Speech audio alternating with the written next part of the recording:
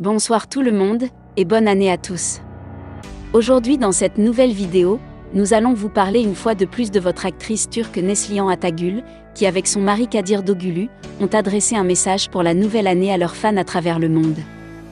Nous vous donnerons plus de détails dans la suite de la vidéo. Alors comme d'habitude, bon visionnage.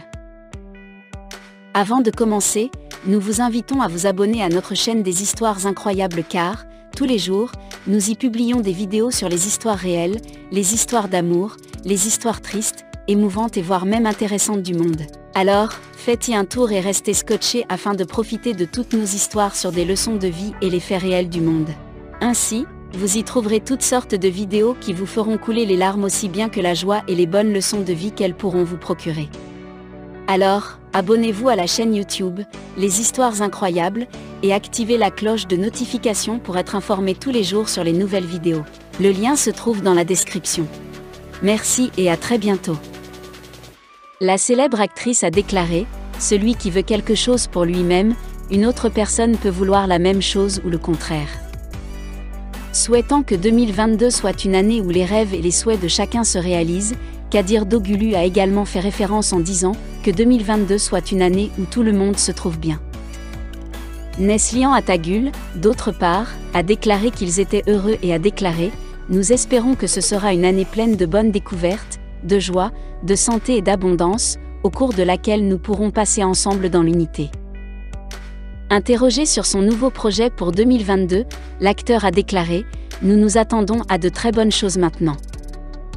L'actrice, qui s'est également rendue à Dubaï et a reçu un prix, a évoqué l'intérêt qu'elle y a suscité. Le célèbre acteur a dit qu'il l'avait très bien accueilli et qu'il était fier. Neslihan Atagul est apparu pour la dernière fois dans la série télévisée Séphir Kizi. L'actrice, qui souffrait du syndrome de l'intestin qui fut au début de l'année dernière, a dû quitter la série plutôt en raison de problèmes de santé. L'actrice, qui s'était longtemps soignée et reposée, avait déclaré dans ses précédentes déclarations qu'elle s'était rétablie et pouvait désormais évaluer les projets à venir. Kadir Dogulu est revenu à l'écran avec la série de comédies romantiques Askin Tarifi cet été. L'histoire s'est terminée en raison des faibles notes pour 13 épisodes. Pour rappel, Neslihan Atagül Dogulu, née le 20 août 1992 à Istanbul en Turquie, est une actrice turque, également mannequin. Elle est surtout connue pour son rôle dans Kara Sevda, 2015 à 2017, l'une des séries turques les plus réussies, vendue dans plus de 110 pays et la seule lauréate de l'International Emmy Award en 2017. Elle est connue pour son rôle dans la série de Star TV La fille de l'ambassadeur, dans le rôle de Nare Selby. À noter également ses rôles principaux dans la série Fatih Arbi, 2013 à 2014, sur la chaîne Show TV dans le rôle de Neriman Solmaz et dans les films Araf et Sanden Banakalan. Tout au long de sa carrière d'actrice, Neslihan a reçu de nombreux prix et distinctions pour ses performances, dont le prix de la meilleure actrice au Festival international du film de Tokyo. Les amis, c'est la fin de la vidéo.